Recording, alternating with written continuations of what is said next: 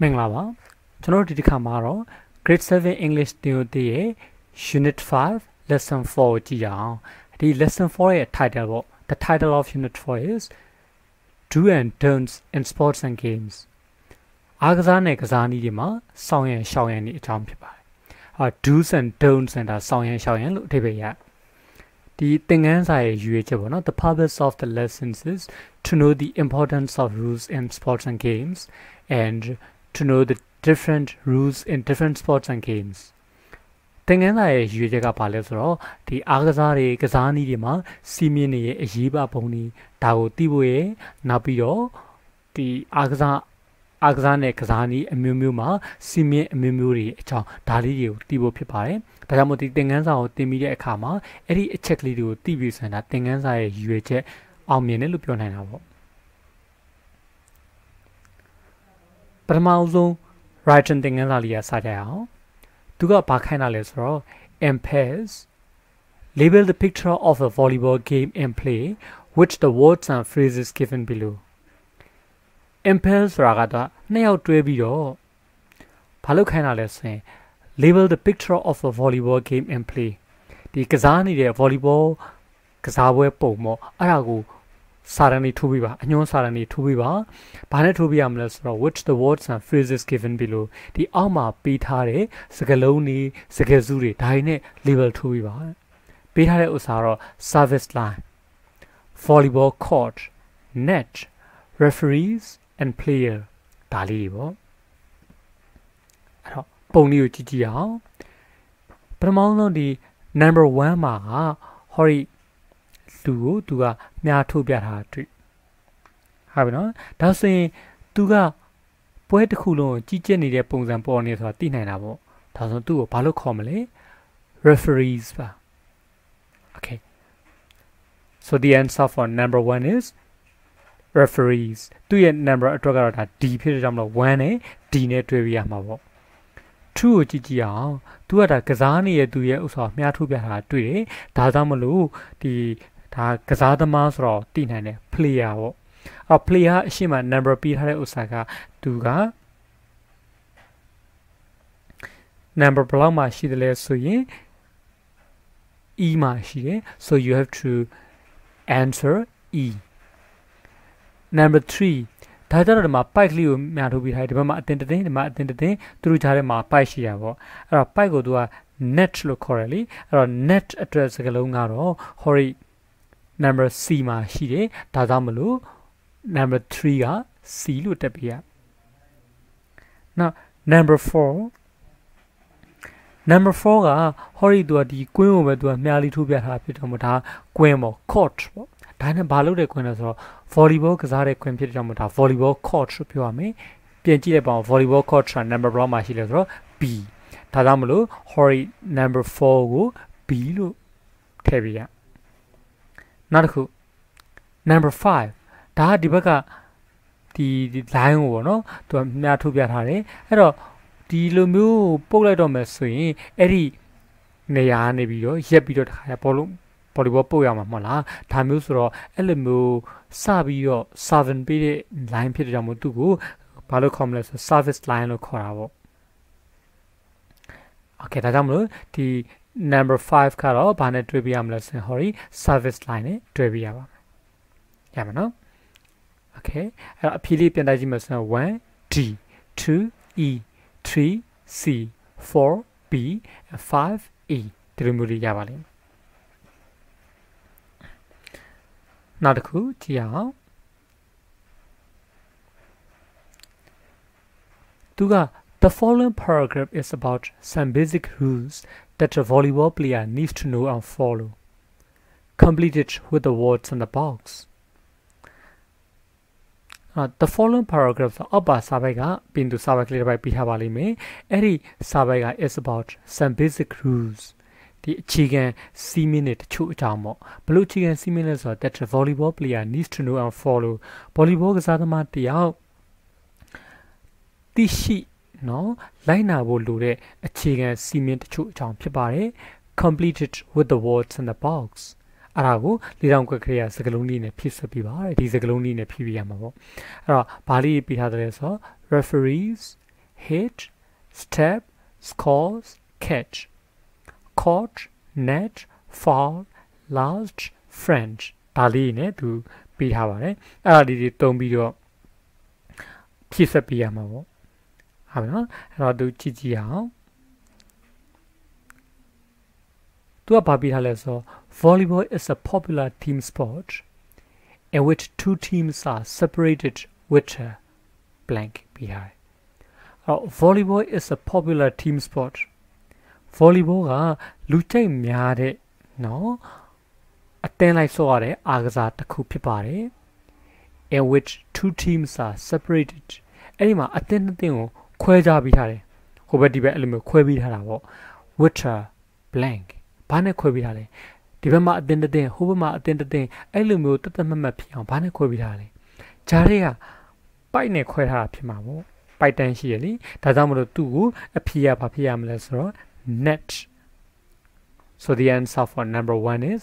net if you have an interest in volleyball, there are several things you should know. If you have an interest in volleyball, သင်ကဒီ volleyball မှာစိတ်ဝင်စားတယ်ဆိုရင် there are several things you should know သင်သိတဲ့အချက်တချို့ရှိပါတယ်။ Okay ဒါဆိုရင်အဲ့ဒီအချို့သိတဲ့အချက်တချို့ကဘာတွေပါလဲ A volleyball blank or ground is 80 meters long and 9 meters wide အော်ဗော်လီဘောကွင်းကပေါ့နော်18မီတာရှည်ပြီးတော့9မီတာကျယ်ပါတယ်ဒါဆိုရင် hori စကလုံးကဘာဖြစ်မလဲသူနဲ့ဆင်တူတဲ့ဥစ္စာလေးကိုတော့ or ခံပြီးပြထားတယ် or ground ဒီလိုမျိုးပြထားတယ်လေအဲ့တော့ကွင်းဆိုတဲ့ဥစ္စာ ground လို့မပြောရင်နောက်တစ်မျိုးဘယ်လိုပြောသလဲ court လို့ပြောပါတယ်ဒါကြောင့်မလို့ a volleyball court so the answer for number 3 is court in a match there are two blank တပွဲမှာဘာနှစ်ခုရှိ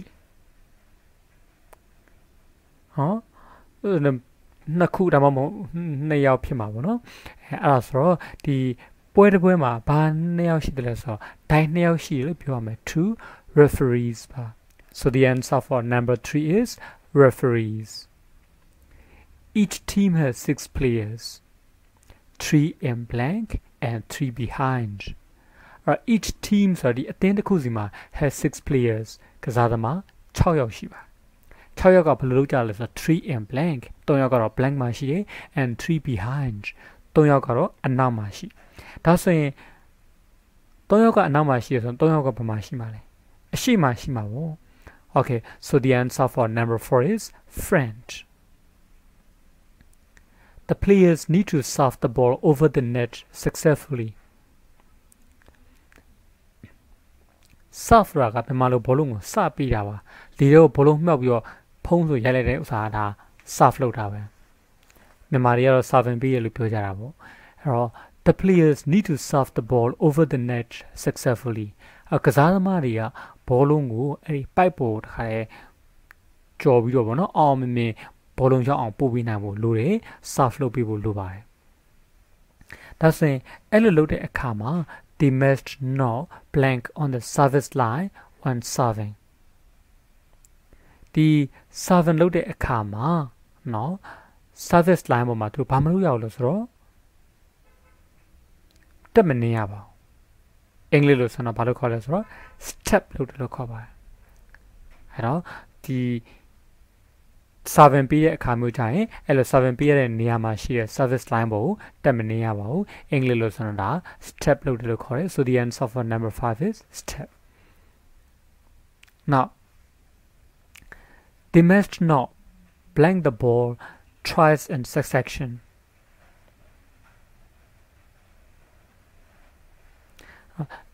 they must not blank ဆိုတော့ blank မလုပ်ရ they must not blank the ball twice ဒီ ဘောလုံးကိုပေါ့နော်နှစ်ချိန် in succession ဆို in succession ဆိုတာတယောက်ပြီးတယောက်ပေါ့အဲ့လိုမျိုးဘောလုံးကိုမရိုက်ရဒါမျိုးဖြစ်မယ်အင်္ဂလိပ်လိုဆိုတော့ဘာလဲဆိုတော့ hit ပေါ့ so the answer for number 6 is hit အဲ့ဒီမှာ succession ဆိုတာကဒီတတစ်ခုပြီးတစ်ခုတယောက်ပြီးတယောက်စထိုက်ဒီလိုမျိုးအထိပ္ပယ်ရတယ်အဲ့တော့အဆင်ပြေတယ်လို့ပြောပါတော့တယောက်ပြီးတယောက်ဘောလုံးကိုမရရဘူးဒီလိုမျိုးပြောလို့လည်းရပါတယ် They are not allowed to blank or hold the ball. Uh, they are not allowed သူတို့ကိုခွင့်မပြုထား to blank or hold the ball ဘောလုံးကိုဘာလို့တာနဲ့ကင်ထားတာကိုခွင့်မပြုတာလေဖမ်းထားတာတို့ကင်ထားတာကိုခွင့်မပြုတာပါဟိုကတစ်ဖက်ကနေဘောလုံးကိုတခါလေရိုက်လိုက်ပြီဆိုရင်ဒီကပြန်ပြီးတော့ဘောလုံးပြန်ရိုက်နိုင်မှုပဲကြိုးစားမယ်လက်နဲ့ကင်ဖမ်းထားတာတို့ဘာလို့ဒီလိုမျိုးတွေမလုပ်ရပါဘူး so the answer for number 7 is catch while playing they must not touch the net ကစားနေစဉ်မှာအဲ့ဒီပိုက်ကိုလည်းမထိရပါဘူး any action against the rules is a blank ဒီစီးမင်းကိုဆန့်ကျင်တဲ့เนาะစီးမင်းကိုချိုးဖောက်တဲ့ဘယ်လှုပ်ဆောင်မှုမဆိုက blank ဖြစ်ပါတယ်โอเคဒါတွေကသိပါလိမ့်မယ်ဟောပိုက်ကိုလည်းနဲ့ထိရင်ဘာဖြစ်လဲဆိုတော့ form ဖြစ်တယ်လို့ပြောတယ်မလားဒါကြောင့်မလို့ဒါကပြစ်ဒဏ်ဖြစ်ပါတယ် fall ဖြစ်ပါတယ် It is almost impossible to say exactly how long a football how long a volleyball match will last အဲ့တော့ it is almost impossible ဆိုတာမဖြစ်နိုင်တဲ့လောက်ပါပဲဘာလို့ဖို့မဖြစ်နိုင်တယ်လို့လဲဆိုတော့ to say exactly အတိအကျပြောဖို့ပေါ့ how long a volleyball match will last volleyball ပွဲတစ်ခုကဘယ်လောက်ကြာမလဲဆိုတာကိုเนาะအတိအကျပြောဖို့အတွက်မဖြစ်နိုင်တယ်လို့ပါဘောလုံးကစားနည်းတွေပါဆိုပြောလို့ရတယ် မိနစ်90ကြာမယ်တပိုင်းကို45မိနစ်ကြာတယ်ဂျာထဲမှာ15မိနစ်နားတယ်အဲ့လိုအတိအကျပြောလို့ရတယ်ဒါပေမဲ့ volleyball ပွဲတစ်ခုကျတော့ဘယ်လောက်ကြာမလဲဆိုတော့အတိအကျပြောဖို့မဖြစ်နိုင်တော့ပါပဲ but most matches usually blank between 60 and 90 minutes ပွဲအများစုကတော့မိနစ်60နဲ့90ကြားလောက်မှာ blank ဖြစ်လိရှိပါတယ်။ဘာဖြစ်လိရှိရဖြစ်မလဲ။ကြာလိရှိရဖြစ်မှာပေါ့။အဲ့တော့ the answer for number 9 is last at the end of a game ဒီပွဲအဆုံးမှာ the team which blank more points wins အမှတ်ပို့ပြီးတော့ရတဲ့သူတွေကနိုင်တာပါပဲအဲ့တော့အမှတ်ရတဲ့ဥစ္စာမျိုးအင်္ဂလိပ်လို scores လို့ပြောပါတယ် so the answer for number 10 is scores now let's check the answers အဖြေလေးပြန်တိုက်ရအောင်1 net ဒါပိုက်ကိုပြောတယ်2 C O U R T ဖြစ်ရမှာနော် court ဒါကွင်းကိုပြောတာပါဟို volleyball court နဲ့ volleyball ကွင်းပေါ့နောက် number 3 referees ဒိုင်လူကြီးကိုပြောတာ for friend အရှိမှာပေါ့5ကတော့ step တက်နေတာပေါ့နော်စီးပေါ်နင်းနင်းထားတာပေါ့ဒါမျိုးတွေမလုပ်ရဘူးနောက် number 6 hit ဒါတော့ရိုက်တာပေါ့7 catch ဖန်နေ8 fall ဒါကတော့ပြစ်ဒဏ်ပေါ့နော်နောက် number 8 number 9 last ကြားတယ်ထန်ကတော့ scores အမှတ်ရတာပေါ့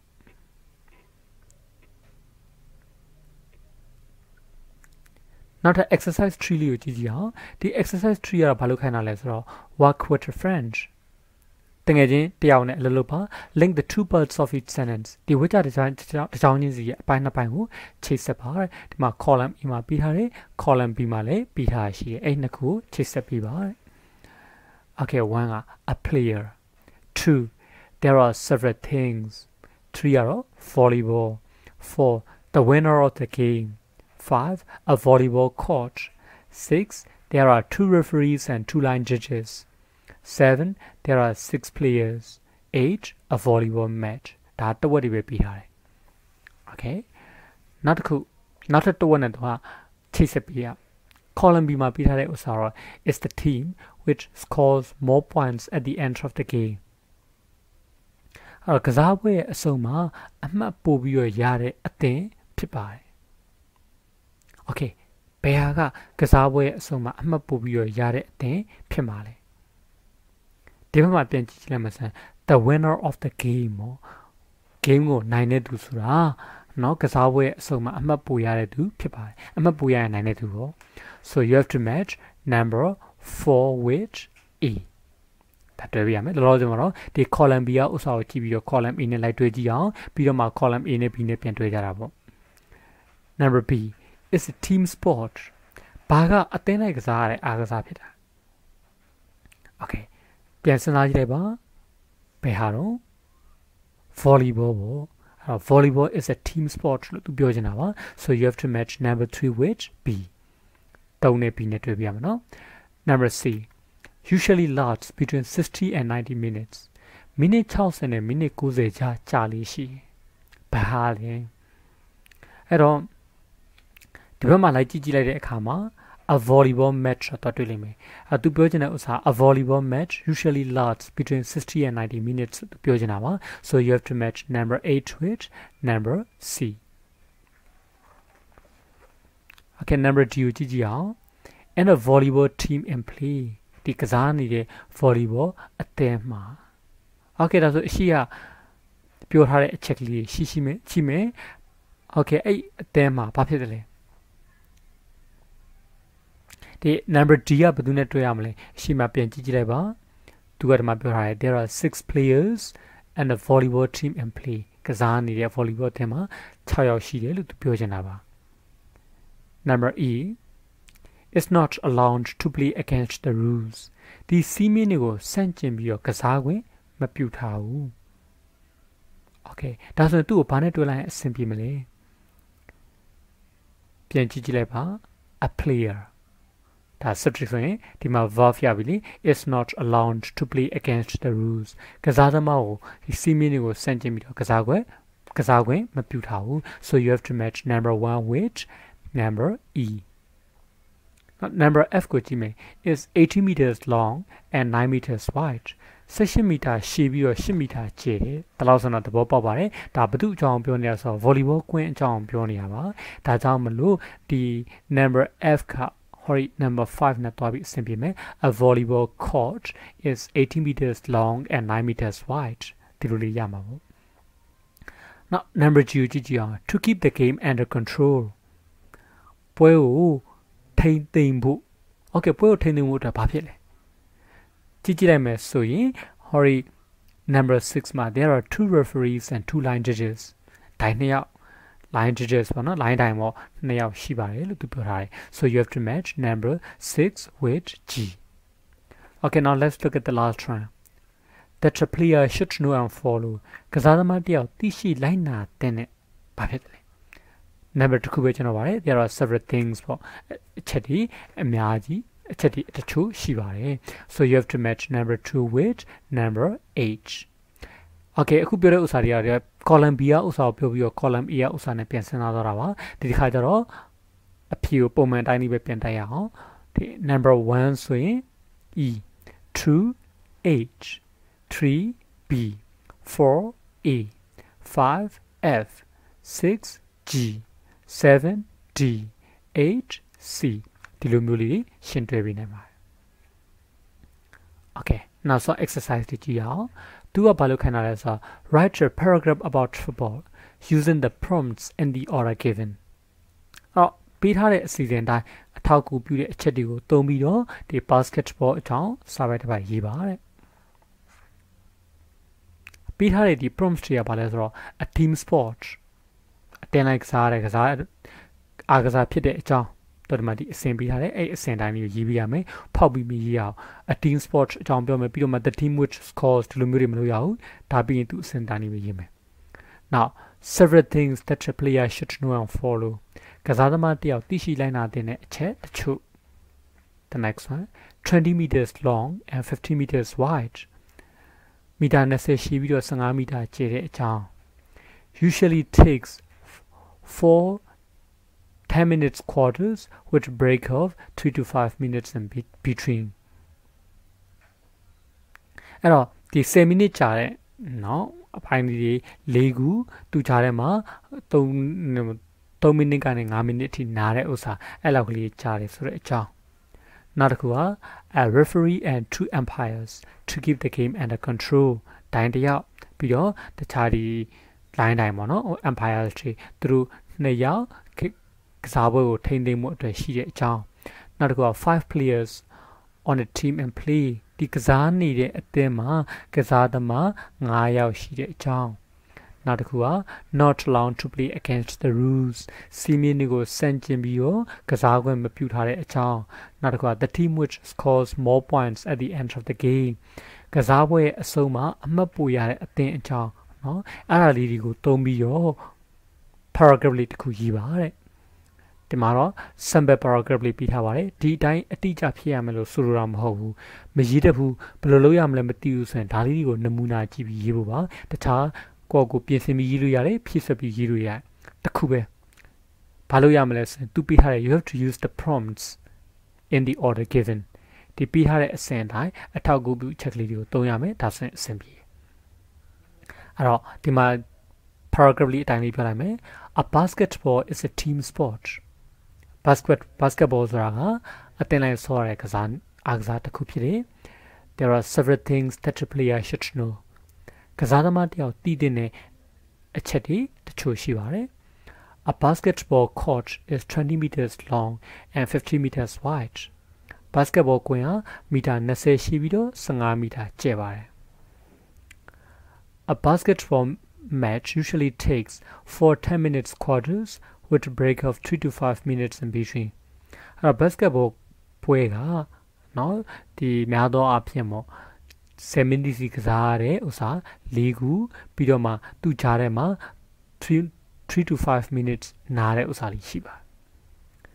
There are one referee and two umpires to keep the game under control ဒီ ကစားပွဲကိုထိန်းသိမ်းမှုအတွက်ဒိုင်တယောက်နဲ့သူရဲ့ umpires ပေါ့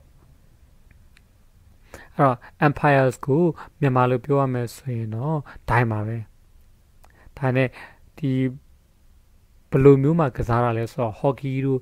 baseball တို့เนาะနောက်ပြီးတော့ဒီအခုပြောတဲ့ basketball တို့အဲ့ဒီမှာကစားတဲ့ဒိုင်တွေကိုသွား umpire လို့ပြောပါတယ်နောက်တစ်ခုက there are 5 players on a team and play ဒီကစားနေတဲ့အသင်းမှာကစားသမား9ယောက်ရှိ a player is not allowed to play against the rules ဒီကစားသမားတယောက်ကအဲ့ဒီစီးမင်းတွေကိုစန့်ကျင်ပြီးကစားခွင့်မပြုထားဘူးပြီးတော့ the team which scores more points at the end of the game ကစားပွဲရဲ့အဆုံးမှာအမှတ်ပိုရတဲ့အသင်းက is the winner of the game winner of the game ဒီကစားပွဲရဲ့အနိုင်ရတဲ့သူဖြစ်ပါတယ်ဒါက အရှိမပြောထားတယ်ဟော်ရီ prompt tree ကိုတုံးပြီးတော့ရေးထားတယ် sample paragraph ပါဒီတိုင်းရေးရမယ်လို့မဟုတ်ဘူးเนาะခုနပြောတဲ့အတိုင်းပဲအဲဒါလေးတုံးပြီးတော့နမူနာဝက်ချလေးအနေနဲ့ရေးလို့ရပါတယ်နမူနာစာပိုက်အနေနဲ့ရေးလို့ရပါတယ်ဒါလို့ဆိုရင်ဒီသင်ခန်းစာရဲ့ရွေချက်ကိုနားလည်မယ်ကိုယ်တိုင်လည်းပဲသူရဲ့တည်တင်တည်ထိုက်တဲ့ဝဟာရလေးတွေတည်စာပိုက်ကလေးရေးတယ်မယ်လို့ပြောလင်းပါတယ်